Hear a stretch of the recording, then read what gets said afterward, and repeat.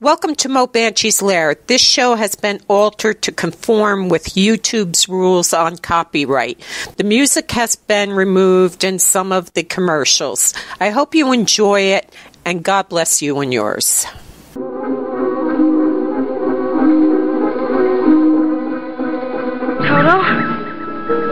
I have a feeling we're not in Kansas anymore.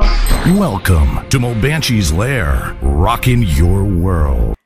That was Ella Fitzgerald and Louis Armstrong singing the way uh, you look tonight. Um, tonight we have a very special guest. I am over the moon to have her. But first, let me welcome everybody listening. As everybody knows, Moe Banshee's Lair is carried worldwide on the internet. Then I put it on a podcast we're going out live now, and then it will be on YouTube tomorrow under Moe Banshee. And if you click Moe Banshee, you can find almost everything I do. I think I'm the only Moe Banshee in existence, uh, which is okay. You don't want more than me. You know, more than one of me is a dangerous thing. Uh, but our guest is is ready, and Kathryn Leigh Scott. Welcome back to my lair. Oh, it's so good to be back with you. I just think you're terrific. Thank you, Moe. Thank and we're you. talking about something so very different than the last time, so that'll yes. be interesting. Yes, uh, you you're you're an author, you're uh, an actress, you're a publisher, you're you're a, a world traveler. You are a very very active lady. Thank you, thank you. I, I am very active, and I I uh, and I'm very actually I'm very blessed to be able to do all of the things that I really enjoy doing. And acting and and writing are are, are really my twin careers. Yeah, uh, just just so we get everybody on uh, writing. Uh, Kathryn also has books out. The Jinx Fogarty Mysteries, Down and Out in Beverly Heels, Jinxed. Fiction, uh, she's got Dark Passages. Nonfiction, Dark Shadows returns to Collinwoods, The Bunny Years, Dark Shadows Memories, Dark Shadows uh, Almanac, Dark Shadows Companion, Lobby Cards, the classic films, Lobby Cards, the classic comedies. A very uh, accomplished uh, writer, and I've got a number of your books. So this book is an autobiography of sorts, right? Well, a- absolutely. It's uh, it's called Last Dance at the Savoy: Life, Love, and Caring for Someone with Supranuclear Palsy. And in my case, the someone is my husband, Geoff Miller, who was the founding editor of Los Angeles Magazine. He passed away five years ago this coming week. I am uh, sorry. From progressive supranuclear palsy. And uh, the book is a is a memoir. It's it's really about caregiving, Mm-hmm. uh, but it's also very much a love story. It's very much about life and love. It and respect. Um, you know, when we say those little words, till death do us part, and sickness and health, today, uh, a lot of that goes out the window when things go bad. You know what I'm saying? Now, Teddy and I are going on 40 years, and um, he's helped me through ovarian cancer, he's helped me through bladder cancer. Um, and, and then now it's his turn. He has Alzheimer's and cancer. And you know what? Nobody promises that your love story is not going to have some rough bumps through it, right? No, as a matter of fact, I, I write about that. The fact that you know, once upon a time doesn't mean you're going to have happily ever after. Mm-hmm. And in my case, uh, it was it was a really wonderful romance because we we met and uh when he was starting the magazine in Los Angeles and I was doing Dark Shadows in New York. And uh, you know we were geographically uh just unable to carry on a romance. So uh even though there was an attraction it was a good 20 years before we got together. We got together in 1988 um for 20 years after we first met. And it was very much a romantic story uh our finding each other again and getting married and we were very much in love and you just you just can't ever imagine that things can turn so quickly in this case it was a, a series of uh, things that made us realize that that there was something wrong. That Geoff had a neurological condition. So that's that, you know, and that and that led to a few years of caregiving. I I wish I wish that it had been slower moving, that the progression hadn't been so quick. But he passed away four years after diagnosis. Yeah, see, it, this is progressive supranuclear palsy.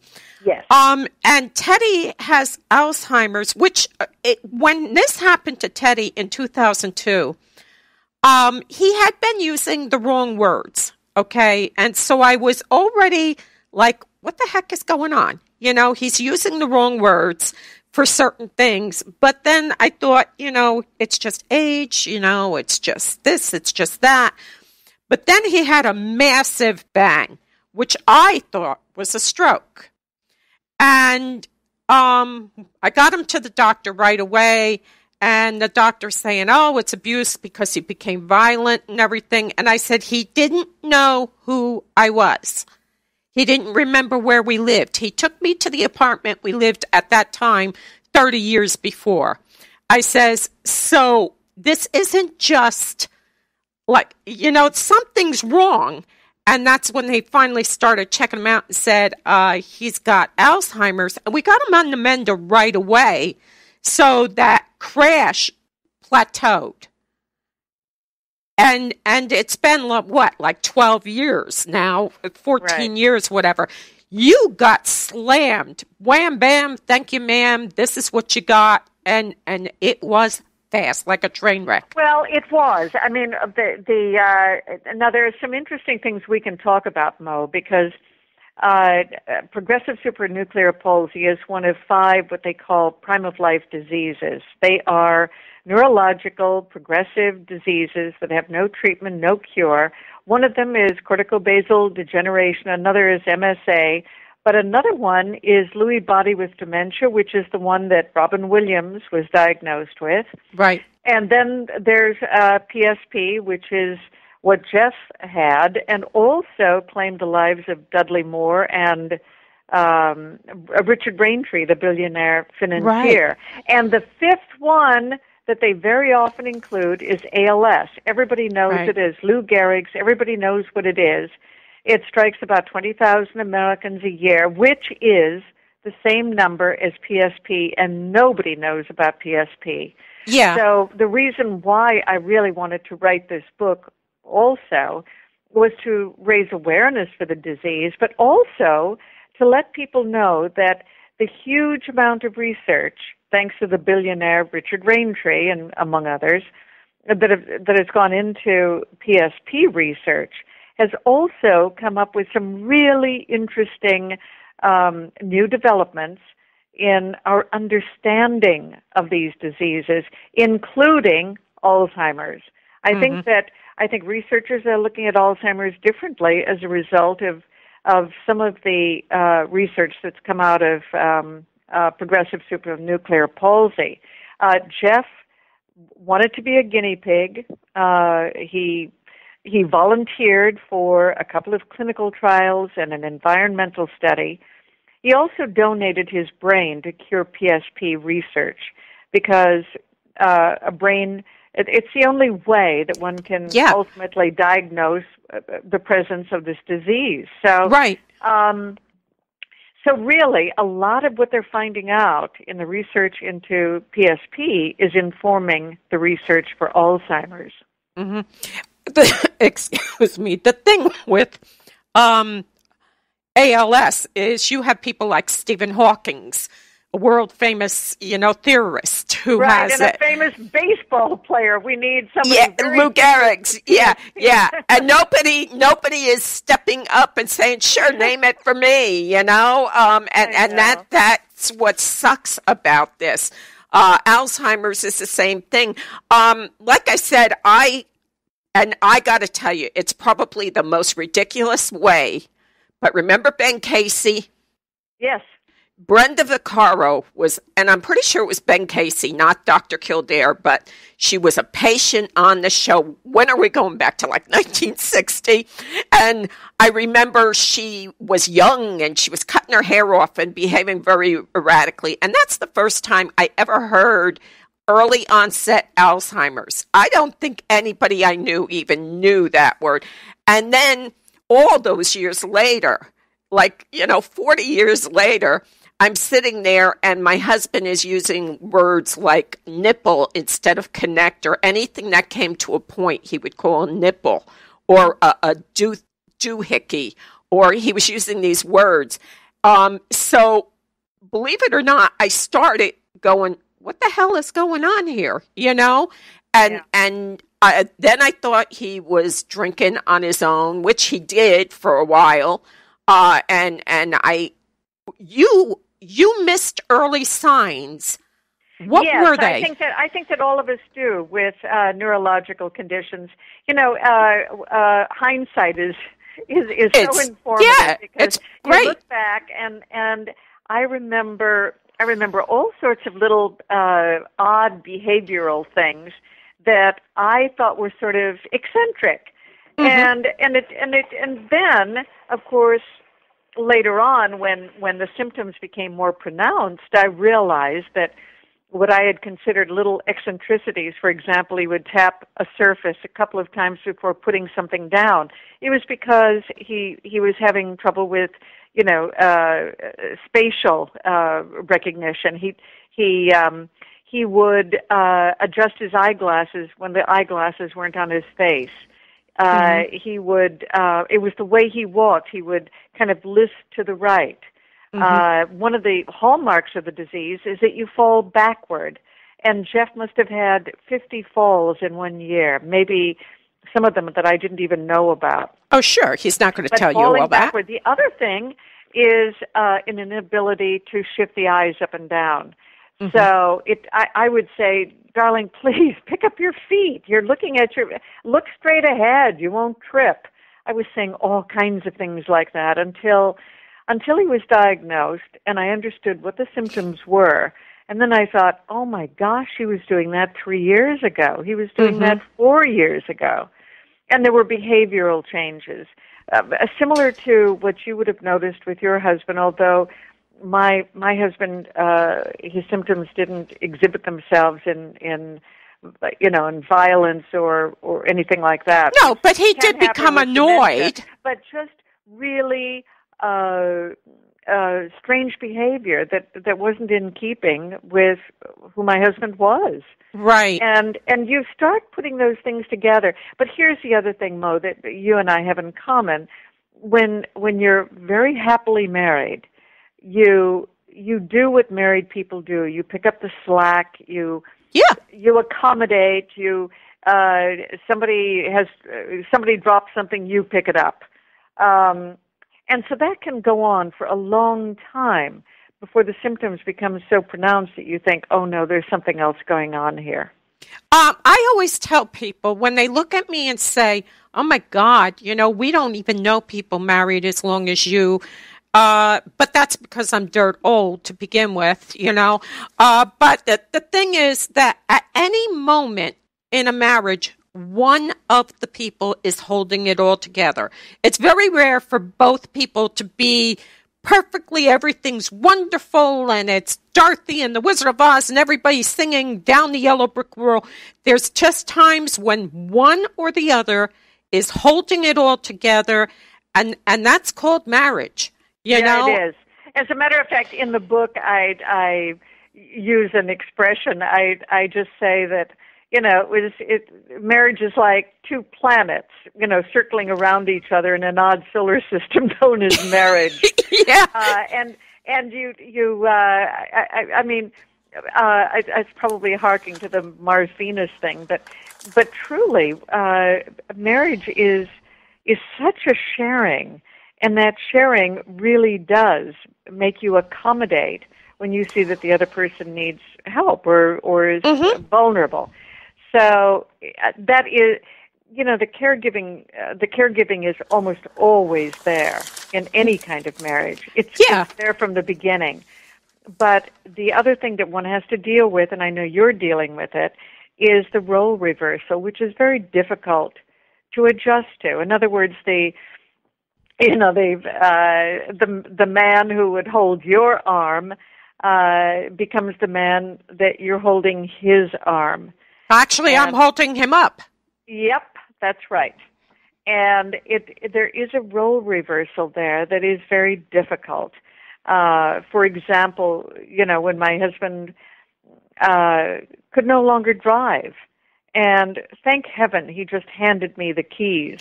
And yeah, I, I had to fight over that. Well, you were we, lucky. We had a, I, I, I go into it in the book. Yes, you do.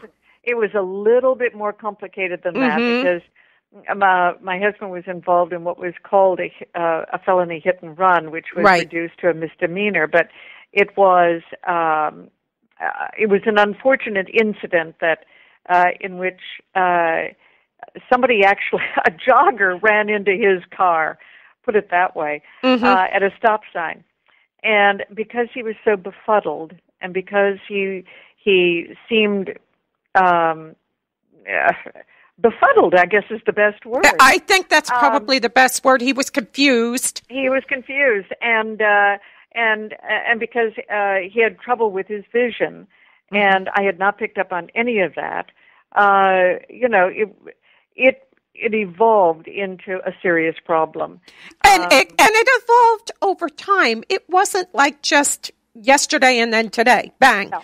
And he gave me the car keys, which, but then, you know, he also wanted to get together with his his chums for lunch, and he didn't want them to know that he couldn't drive. Mhm. Um, I mean, I mean, men have their own things that, for them, define them. Yeah, And the, the masculine role. They are And- the provider. They are the Yeah. they are the protector. They are they are the strength. And I always say when I'm helping families and stuff, and I will always turn around and say, you will be shocked to find out who the weakest link is. Very often, families. So yeah, um, and and when they are they're used to being your husband's a businessman. He's in the publishing game. He's a man who's accustomed to uh, having authority. I'm not saying he's Donald Trump an asshole. I'm saying he's a guy who's used to saying, okay, let's do this ABC. And suddenly now he's got to give his car keys over. That's like right. cut, cut my legs off. So You know? I would I would drop him off and say hello to every you know who he was having lunch with, and we'd make up an excuse. right. And then uh, at a at a set time, I'd come back and pick him up, and and we we did we did things like that again because he was uncomfortable um, until he became so symptomatic that then uh, you Everybody know, knew. then we then we we started telling people that Mhm. he had a a problem Yeah. but initially um there was that accommodation Mhm. and and then when you become a caregiver and as the disease progresses you have to help with everything um you know the uh, feeding and bathing and everything uh the the role reversal is complete hmm Uh, I'll tell you how Teddy lost his keys. Uh, it, it was early, early on, and I kept saying he was pulling into the shopping center, and I says, "If you don't stop, you're going to hit that tree. If you don't stop, you're going to hit that tree." Bang! He looked at me, says, "Well, I hit the tree," and I said, "Yeah, you did." so then. Uh, a couple of days later, we were driving down the highway, and he just turned around and started cleaning the car. And we were going down Route 9 in New Jersey. And I'm like, pull over the car. That's it. Give me the effing keys. because he's on the Oh, floor. yeah. He's on the floor that- picking up tissues. And know, we're he's. talking about uh, two very different diseases. Yeah. that that have some of the same similarities. Yeah. And uh, even though dementia was not a part of Geoff's disease, And that's in sad. the end, in the end, it's always going to be present. Yeah, because it, he, you see, Teddy doesn't remember day to day. Um, he doesn't remember having his cancer surgery. Do you? Geoff lived through it. He- he was there, he was cognizant of it, and his body. I've I've been watching so many people who talk about this that have it, and they said I'm trapped in my body. The few people that could Yeah. still talk, and you could see the agony in their face because. It's your body is betraying you, but your mind is still reading everything. I know. And you know, they, the, the you know, David Niven had ALS, Right. and so did Jacob Javits, and we're talking about people that were extravagantly social, and in David Niven's case, you know, a great raconteur, and for him to lose his ability to speak and to communicate, and Mhm. and with that very sharp mind be trapped in his body, is just horrible. And Yeah. Geoff was making stock trades until two weeks before he passed away but he he couldn't he couldn't speak uh he uh, he had no control over his limbs and you are trapped fully cognizant in your body the dementia that that does take place uh is is really it's because of the medications and and, And- so on Yeah, the ravages as as as the body starts to shut down, which you put so poignantly because I went through this discussion with the doctors. When is it time to just make them comfortable? And and you and I are sitting there thinking, no, you put a friggin' uh, feeding tube in, you do this, you do this, you do this, and they're saying it's not going to help, and you're Yeah. kind of like, ugh, you know, No, no, and that there there are two things that I really want to talk to you about, Moe, because Yep. now I've been in a lot of support groups and and I've been leading support groups because I am a, a volunteer spokesperson for the Cure PSP Foundation, and I did a a, a um, I led a uh, a support group in San Francisco a couple weeks ago, and another one here in New York um, uh, uh, after that.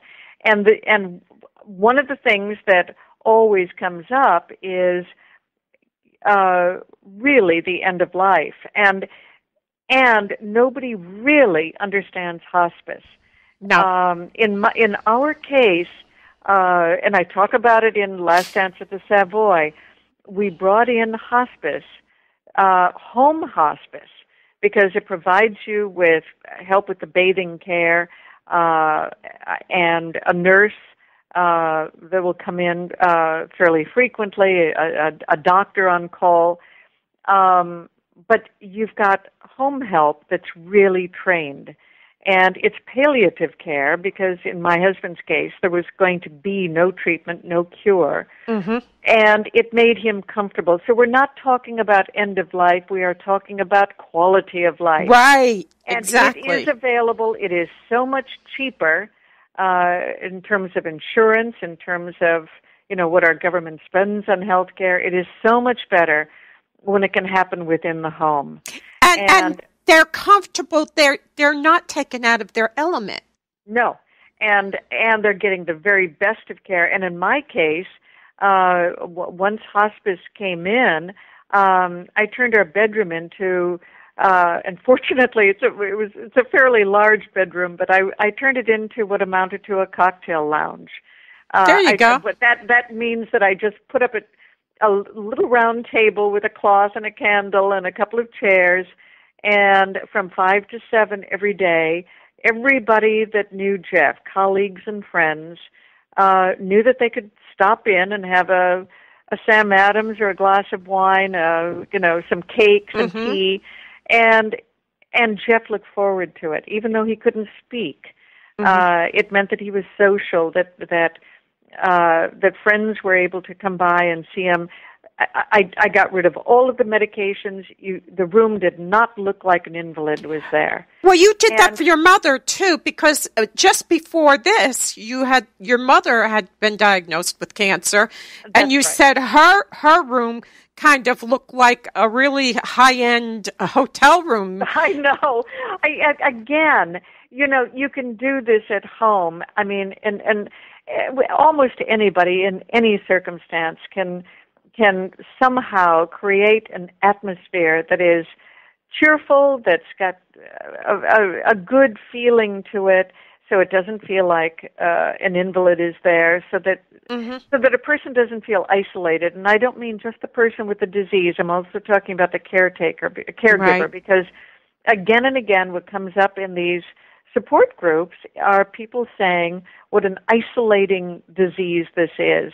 Right. So one of the things that I I worked hardest at was to not make us isolated, to open Geoff up to all of the people who had known him, to all of our friends, um, and it, it made a world of difference. So one of the things I talk about is what hospice truly is, Mm-hmm. so that it's not the scary thing where you know you bring in hospice and die a day later. Right. No, that's not what it is.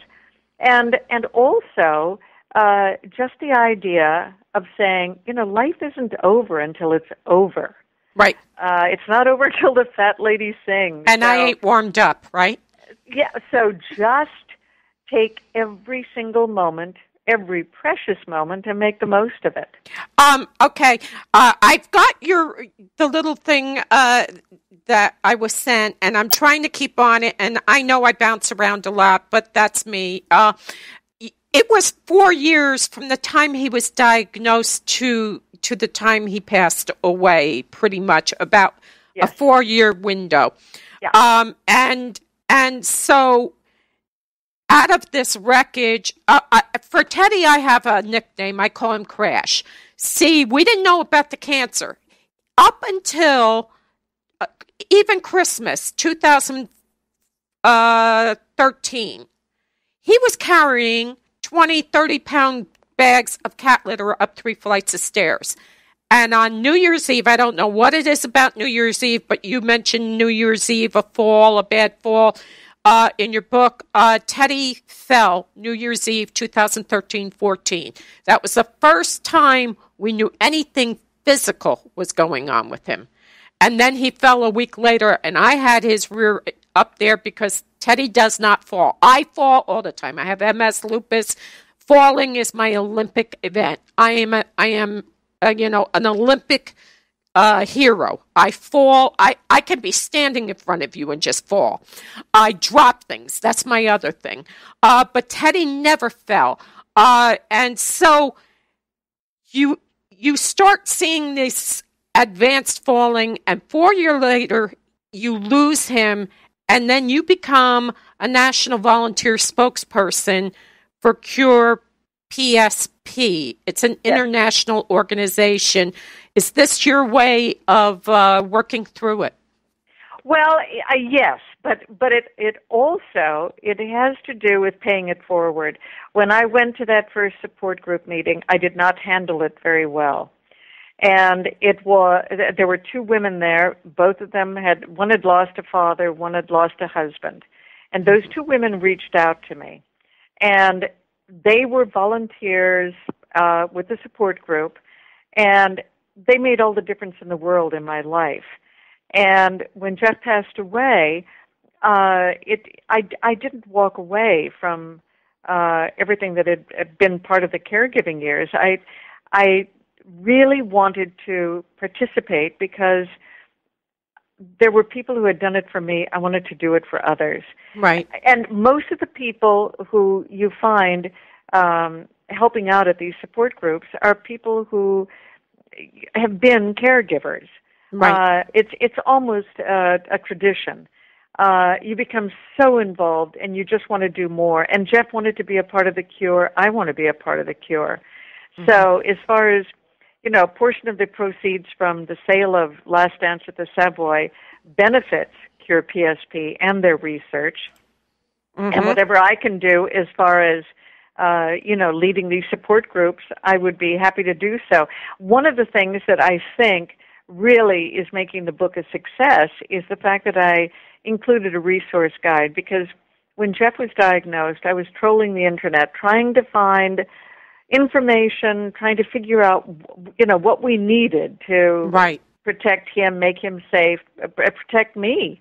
And so the, the resource guide at the end, which is a lengthy one, goes into terrific detail about uh, certain things. Uh, There, for example, I'll just pick one.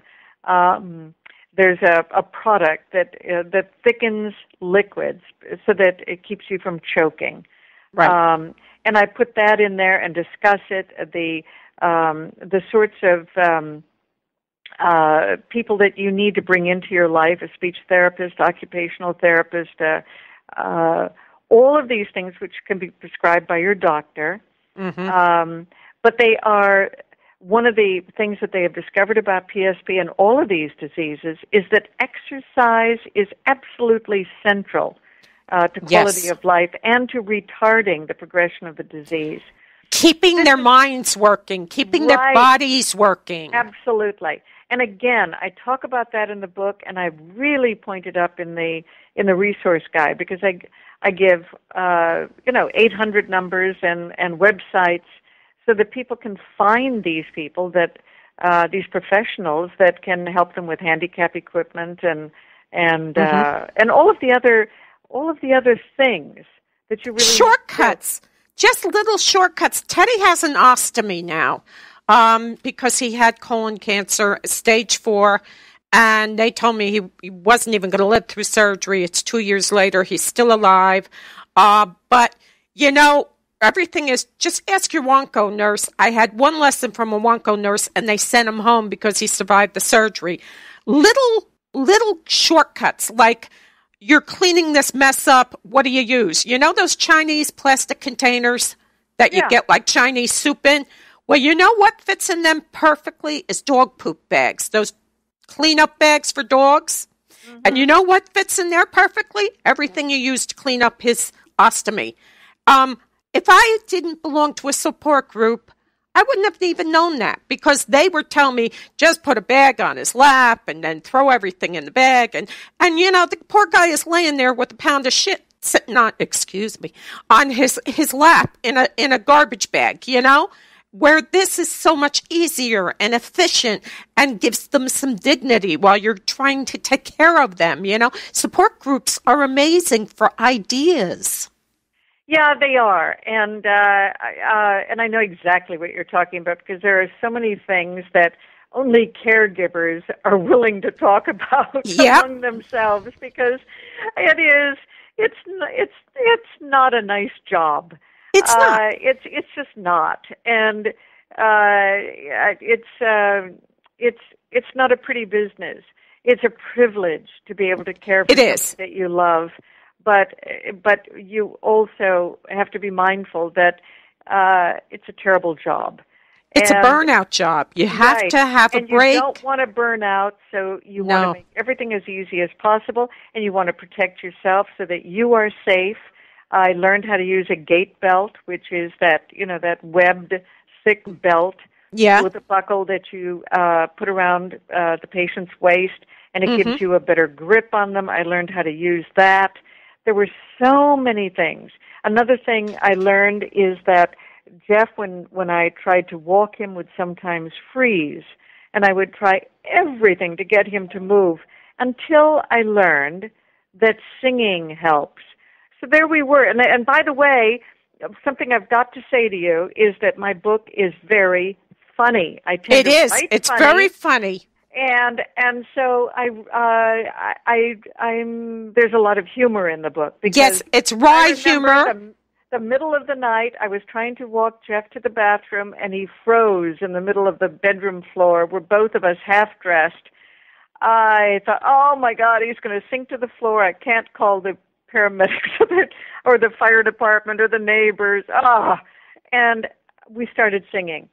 We were singing "Some Enchanted Evening," and something about music releases whatever that mechanism is in the brain that releases the muscle uh, or the, whatever. I, I, I have no medical background. All I know is that this works, and we It worked. Yeah. so we were singing, uh, tw- you know, 99 bottles of beer on the wall, uh, a bicycle built for 2 Now they, of course, discovered that that music is therapeutic. yeah. So anyway, but I mean, these are the things that you talk about in these support groups. These are the things that are in the book. Yes, they are. Um, yeah, your book is it's dry and wry humor, and that's what I call it. Um, Teddy Teddy does get uh, very vocal, and um, he- my name is the bitch because you're nothing but a bitch. And I says, I'm not bad. I'm just drawn that way. And, and it doesn't, he doesn't quite understand it, but it breaks the, the, the, the, the mental strain. Right. It, it breaks the road and then he stops and then we can pick up and go where we need to be.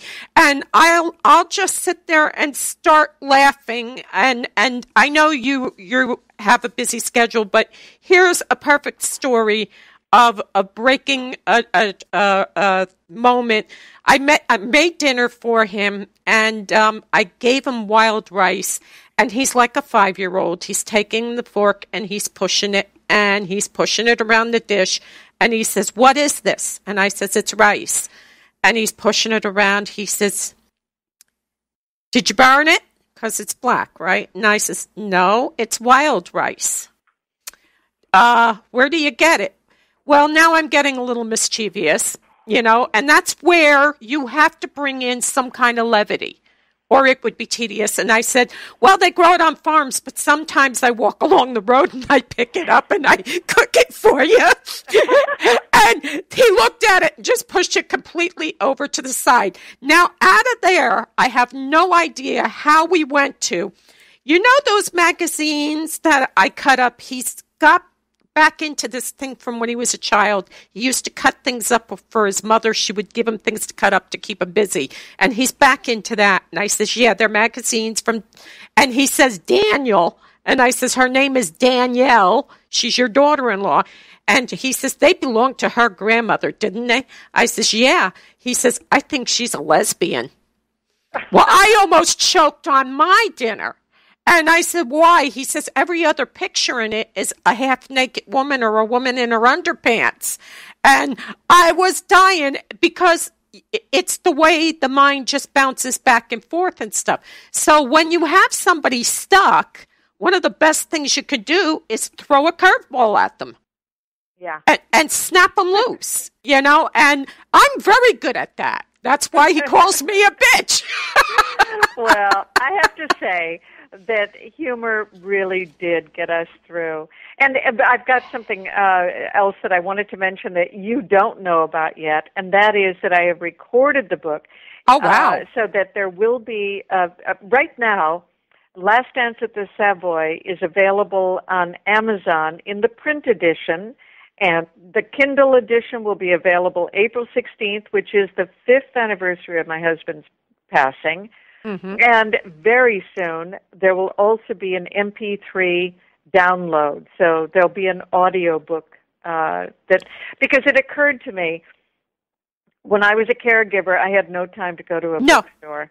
I was on Amazon. I was finding everything online. So that's why I've made it available uh, in these ways. Um, to buy the Kindle version or to buy the print edition off uh, Amazon makes perfect sense. Uh, yeah, and and and I want to talk about that because what I do is Teddy doesn't go into a deep sleep till maybe four or five in the morning, even though he's on medication, and I'll have my MP3 player and I'll be listening to music all night, waiting for him to finally go because I can't go to sleep unless he goes to sleep. You know. Yeah, yeah. And and so downtime for a caregiver is it's essential but it's not always there. And so, uh, you know, people, if you've got, and this book is perfect for any anybody who's a caregiver, not just progressive supranuclear palsy. Oh no no no! It's It's very perfect for, for anybody. Every. Yeah. Yeah, because it's giving you ideas to cope because caregivers burn out so fast that sometimes they drop dead before the patient does. Yeah, this is true. Uh, and and I uh, there was a there was a time when I was really not feeling well, and I knew I had to take better care of myself. I, I address all of that in the book, Mm-hmm. and you know, for anybody who thinks, oh, it's going to be a sad book, and It's the guy not. dies at the end, the truth is, the book is very inspirational. It's It is. And it's a it's a light read. I've I all of the reviews that I've had so far point up the fact of the humor in the book. Yeah, yeah. Even he laughed, like when he fall over and then ro- rolled out of the car. And Oh, he's he's laughing, and, and you know we we have it here. You know, you know, shit happens. What are you going to do? Stand there and cry? Like I said, life handed you a, a whole big tree of lemons. Make lemonade out of it. Uh, it's not you. It's not going to go away. So deal with it and and get on. You and know what Geoff always used to say?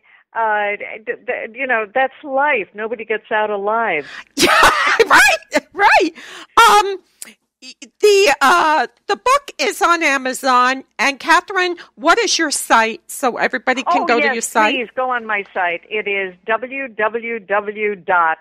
www.kathrynleighscott.com. K A T H R Y N L E I G H S C O T T dot com. And the uh, the um, oh, if you go on Amazon, you'll find it. The print Yeah. book, the the Kindle version, and something I'm terribly proud of is that I wrote a piece for Maria Shriver. Um, has a wonderful uh, caregiving site, Right. uh, mariashriver.com, and that's going to be published on the 16th of April, and it's also going to be featured in her newsletter, and I'm I'm very excited about that. So, please, I I hope everybody that that you know gets the book, reads it, and enjoys it will also review it.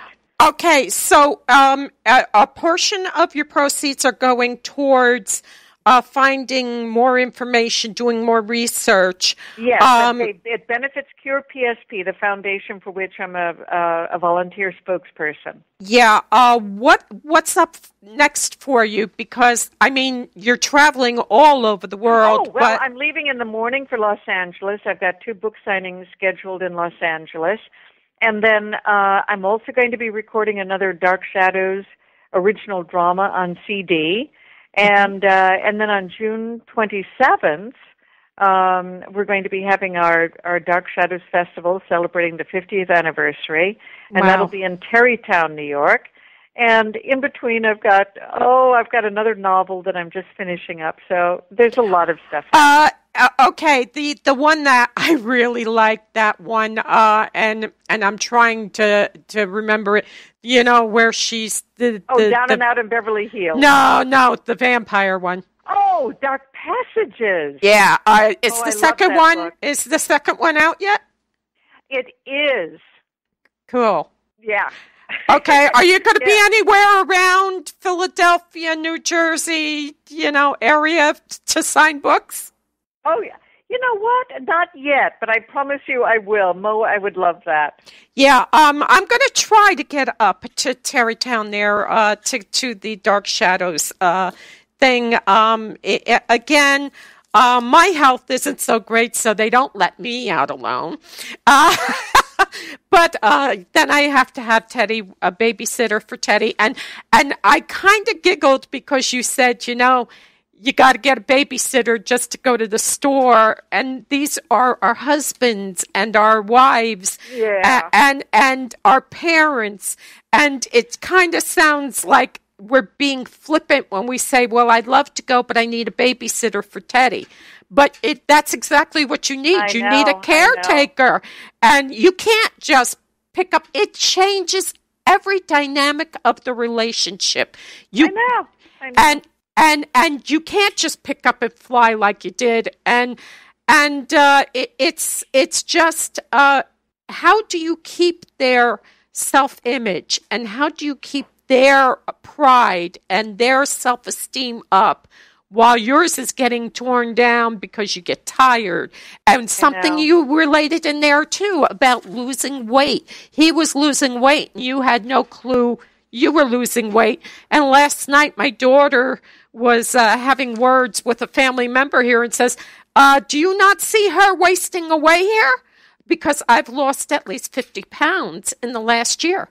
oh, boy. Because That's I'm a lot. I'm taking care of him. And and when he got his wheelchair, they said, This is pretty heavy. Can you lift it? I says, I carried him in here.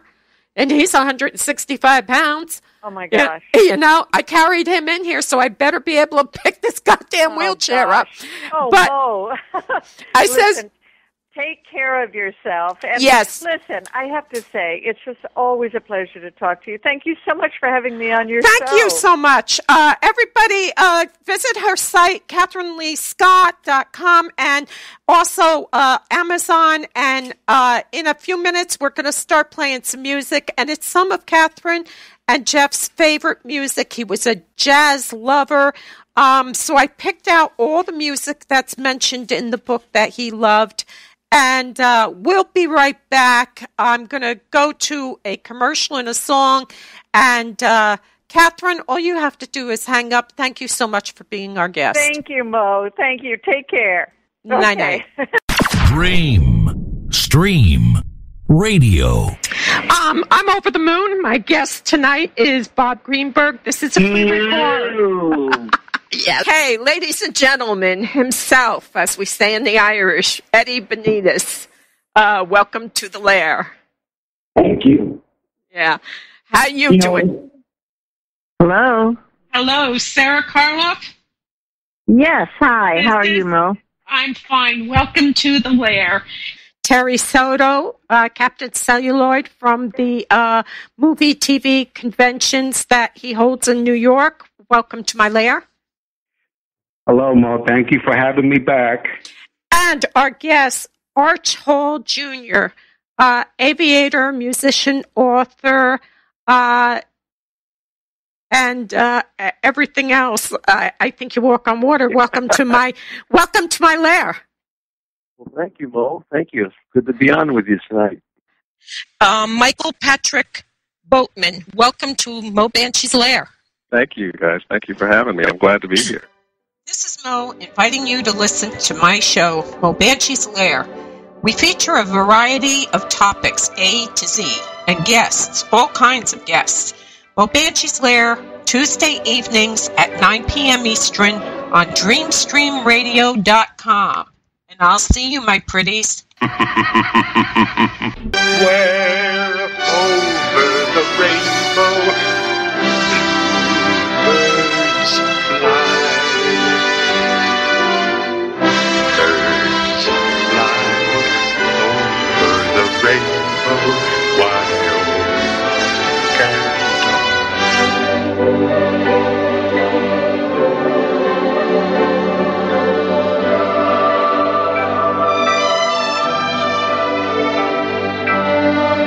Thank you for visiting me at my lair. And God bless you and yours.